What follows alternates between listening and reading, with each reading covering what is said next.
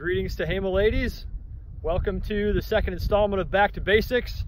Uh, we are going to work on putting today, but before we do that, we'd like to give you a quick reminder of a few upcoming events. So next Wednesday, June 26th, starting at 1 p.m., we have Ladies Guest Day. So pair up with another member and two guests or three guests of your own and come and join us.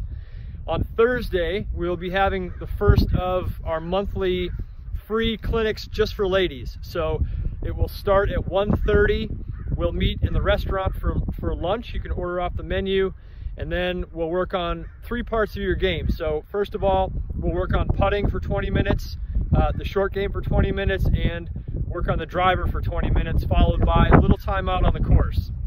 Um, and then finally, July 11th and 12th, we have the Ladies Invitational. So right now we're, we're at 14 teams signed up. And over the last 10 years, the most we've ever had signed up was 18 teams. So our goal is 19 teams, which means we need five more. So if you're on the fence, you can help us make history here at Tehama, 19 teams for the Ladies Invitational. So uh, thanks for, for joining us. Without further ado, uh, let's get on to some putting. Okay, so ladies, we've got a very simple drill set up here. There's a piece of string tied in between two tees. We've chosen a straight putt and our objective is to make the ball travel straight down this line. If you're missing it to the left, it means that your putter face is pointed a little bit left when it's actually hitting the ball. If you're missing it to the right, it means that your putter face is pointed to the right. Maybe this is happening at, happening at address, maybe it's happening when you're actually hitting the ball.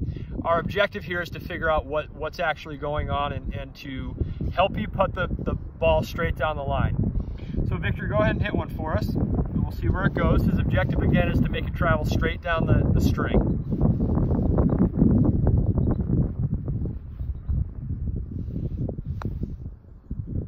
Okay, great putt. So you can see how that took off right on the line and finished in the hole.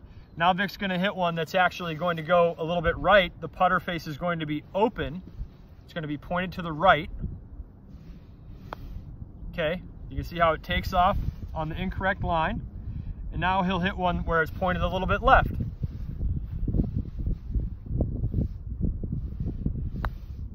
Okay, great.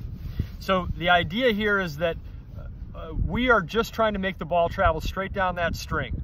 Let's not get too focused on, on the, the technical aspects of putting and see if we can focus more just on making the ball travel straight down the line. If you can do that, you are going to make more putts. If you can if you can make it consistently from six feet, then 10 feet shouldn't be a problem, nor should 20. Uh, we'll spend more time in the coming weeks talking about reading greens and, and working on the speed of the putt, but this is a great place to start. So get out here and practice your putting.